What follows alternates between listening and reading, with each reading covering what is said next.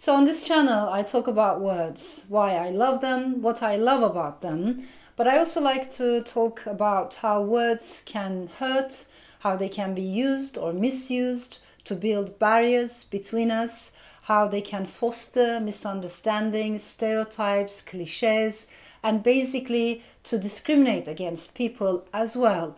Uh, and how can we use words in a much more constructive way? Is that possible? I also like to take a close look at the at their etymology, at their journeys. You know, all the journeys that they go through uh, over time. And I am also very interested in the word of the year, uh, Oxford Word of the Year 2022, which has just been announced. And that word, which has been chosen by public vote, and almost is like a landslide choice because so many people have voted for, particularly for this term concept, uh, is an interesting one. It says so much about the time we're living in, and that word is goblin mode. So basically, you will hear people saying, Oh, today I'm in a goblin mode, you know, I'm going goblin mode. I don't want to do too much, I don't want to leave the house, I'm in a goblin mode. And I want to take a close look at what exactly that means. As you can imagine, Goblin Mode is mostly the creation of the online world of digital platforms. It is um, it's a relatively very recent, very modern term. Uh, it has been it has come into usage in 2000s, but I think it's after the pandemic, with the pandemic, that the concept picked up. So I'm going to take a close look at it. But before I do that, may I remind you that the word of the year um, last year was a very different one. For instance, the Oxford word at the time was vax, or the Collins Dictionary word of the year was NFT. And the year before that, it was climate crisis or climate emergency. In 2013, for instance, the word of the year was selfie. And I think back then, the zeitgeist was completely different. It was a different world. And the reason why I mention this is because I think Goblin Mode says so much about the times we're living in, the mood that we all are affected by somehow. So, what happened since then? Well, of course, the pandemic happened, COVID restrictions, lockdowns, but also climate crisis accelerating in front of our eyes. It is happening. But also, there's all these talks about a nuclear war, the possibility of an escalating tension, and, and so on and so forth. So, it is a, it's a difficult time to be human. It's a difficult time to be young for young people. It's a difficult time to be alive. And many people feel overwhelmed by all that's going on in the world. And I think that is directly related to the popularity of this word, the goblin mode. Now, as you know, goblin is a fantastical creature, it's an imaginary creature that usually we find in folklore or in folk tales, for instance, in Irish, English, Scottish folklore. Basically actually all across the world in folk tales we come across goblins. Um, in some stories it's portrayed like an elf mischievous ugly creatures living under the ground but a fantastical creature. But i think the underlying um, emphasis here is laziness. Like you don't want to participate too much in the public space. You really don't feel like going out. You want to stay in your own little hole you know? Um, maybe there's a self-indulgence there as well so and that that is the um, the important bit to understand the time we're living in because i think many people feel like when so much is happening in the world you really don't want to go out anymore. It's just too much you know um, every day so many things are happening and the speed of things is just too fast. This is in direct contrast with all that the image of all that perfect world that social media platforms would create uh, only a few years back. For instance, on many digital channels, we would see these pictures of perfect lives, you know, women multitasking, men multitasking, doing lots of things in, in a very short span of time. Goblin mode is the exact opposite of that. You slow down, you take it easy, you don't rush, you know, why the haste, why the need to speed up. It doesn't matter.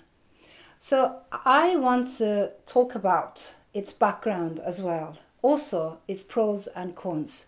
may I tell you that I think Goblin mode, even though as a concept it sounds very new, but the idea, in my opinion, is not that new at all. And it immediately reminds me of this important book that was published in 1883, written by Paul Lafargue. It was called The Right to Be Lazy. Now, Paul Lafargue is an interesting thinker. He's a socialist. He also happens to be the son in law of Karl Marx he was a leftist thinker, but he was also very critical of the labor movement of the time. And in order to understand his worldview, we need to bear in mind that he thought um, working, taking part in the capitalist system was oppression, you know? So why do you try to increase the hours of work when you can decrease the hours of work?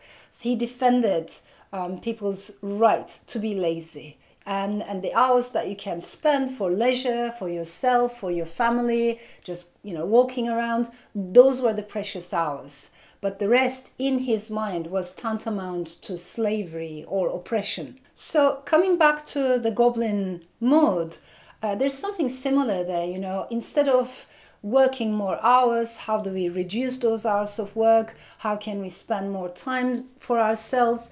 And I think partly it is, of course, because we have experienced the pandemic, uh, it's very understandable that we're thinking, rethinking about what does it mean to be happy, what does it mean to work, what does it mean to be successful. So I think it's good that we are doing a lot of rethinking right now. That is very understandable. There are good things about the goblin mode that I find very important. Um, for instance, to reconnect with earth, with nature, with ourselves, to spend more time, maybe just enjoying a walk in the park, just sitting under a tree, appreciating the seemingly small things in life. And these are the things that are that cannot be translated into materialistic terms. They cannot be translated into money. Maybe the pandemic made us realize that actually these are the things that matter the most in life, like love and friendship and family. And as I said, just sitting under a tree, they matter. These moments are precious. So that side of goblin mode is something that I like a lot. I also like the fact that when you're in a goblin mode, you really don't try to achieve a perfect, curated life you know, which was always artificial. That that image that was promoted by social media uh, platforms of men and women always happy, always on top of their game, always perfect. You know, that was never real anyway. And Goblin Mode is very aware of that. So th- these are the things that I like about it. But what I find dangerous is when you are too much in a Goblin mode. I worry that one might say, you know what, it doesn't matter. There is a climate crisis, but what can I do? You know, it's already happening, it's big, I'm small, why bother? You can also say, you know what, yes, you know, women in Iran, women in Afghanistan, women all around the world, they're going through so much, but what can I do about it? Why bother? There's a danger of apathy that comes with pushing the goblin mode too much in that direction, and that worries me. And the second criticism that I have is that um, producing something, you know, creating something can also give us so much joy, like writing a poem, composing a song, music, or if you're a carpenter, manual work, creating a little toy, a wooden horse, you know, all these seemingly small things that cannot be translated into some materialistic um, value immediately. They're so precious. And so there's a part of me that wants to praise creativity and productivity in that sense. And lastly, if I may leave you with this thought, I had this interesting conversation with my own mother, with my mother, and many women of her generation, of course, and many men of her generation, for them, it was a completely different worldview and a different ethics, right? Wasn't it? It was always work, work, work. You have to work hard, you have to achieve, you have to leave a better world for your own kids. Many um, people of that generation, and especially many immigrant families, um, their zeitgeist was completely different. And I want to honor their experiences and I want to honor their stories as well. So let's celebrate Goblin Mode. If it helps us to appreciate the seemingly small things in life, to reconnect with ourselves, with our fellow human beings, and with nature. But let's also be careful about the dangers of apathy and of living atomized, individualistic lives. I think we can balance it.